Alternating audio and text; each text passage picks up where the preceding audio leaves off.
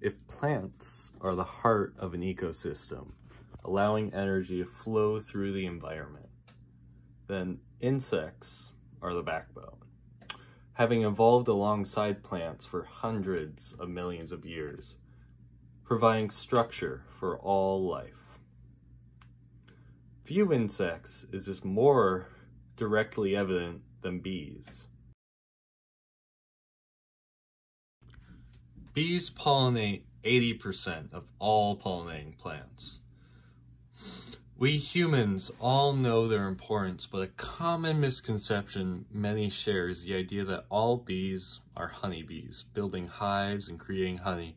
The overwhelming majority of bees, 90%, are solitary, building nesting chambers in trees and the ground.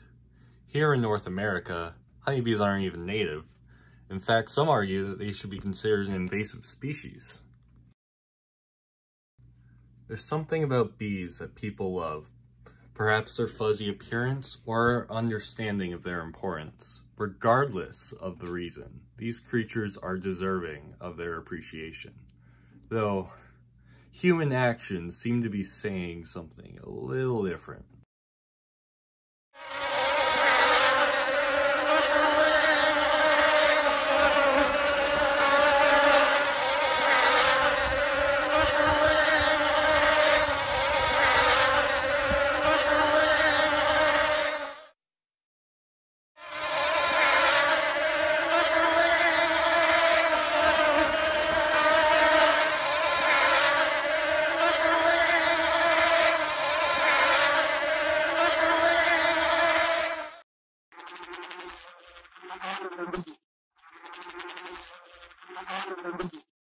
Biodiversity in the past 100 years have decreased by 60%.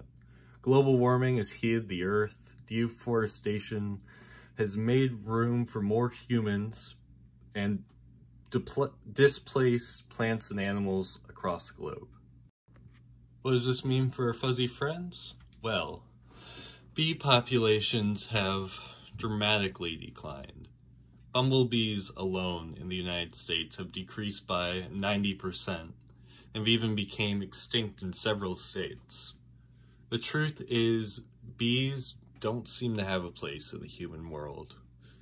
We have limited their food sources to just human agriculture, and we have covered those plants with poison to try to kill the bees that pollinate them. Without bees, humans can't survive. All of our major plants rely on them to produce offspring, and CO2 consumption will be even more stressed. We get caught up in our own little world that we forget that we aren't alone on this planet. We need bees, and they need our help to defeat us. The most significant solutions are to halt deforestation, pesticides, and reduce climate change. This isn't something you can do on an individual level, but something we need to work together to achieve. If you want to do your small part, part to help, I recommend looking into bee housing, a place you can keep native bees in your garden and allow them to thrive.